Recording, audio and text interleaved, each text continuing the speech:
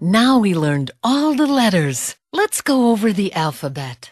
A, B, C, D, E, F, G, H, I, J, K, L, M, N, O, P, Q, R, S, T, U, V, W, X,